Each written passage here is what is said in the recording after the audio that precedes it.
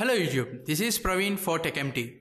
Here in this video, I would like to show you the process of scheduling Gmail messages and send them later using Google Sheets. This application was developed by Amit Agarwal from labnol.org and I thank him for giving such a wonderful application. This process doesn't require any third-party browser add-ons. All you need to give access to Google Sheets and it will automatically do tasks for you. So let's get started.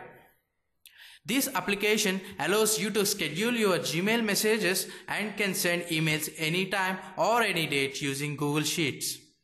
Firstly, log on to Gmail account and compose a message that actually want to send in a particular time. You can attach images or documents along with the message. Now enter all the details like email address and subject, then close the composer without hitting send. Make sure the message gets saved. I'm following the same process to create another email. Now saving the message as draft without selecting send button. Now we have two drafts in our Gmail account.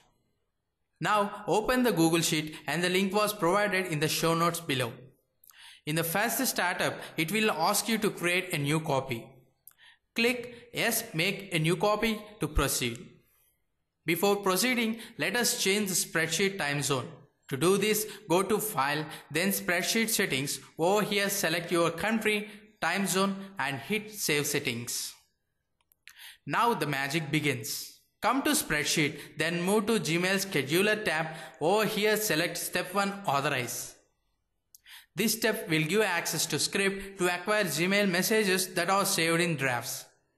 Do the same as I am showing here. The authorization process was now completed. Step 2 is to fetch the messages that are saved in Gmail drafts. After a few seconds, you will see all your saved messages here. To schedule a particular email, come to schedule time and double click to get the calendar in order to select the date in right format. Enter the time manually in the same format as shown in this video.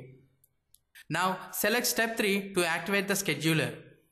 Here in the status column, you will see the status as scheduled. If you don't want to send a particular message, then just leave the schedule time column empty. You can even cancel the pending jobs at any time using cancel pending jobs button. Hope this application makes your job easier. That's it. If you face any issues, do comment below. Do share or thumb up this video if it found useful. Please do subscribe to our channel for more tutorials. Your contribution is more to us. Thanks.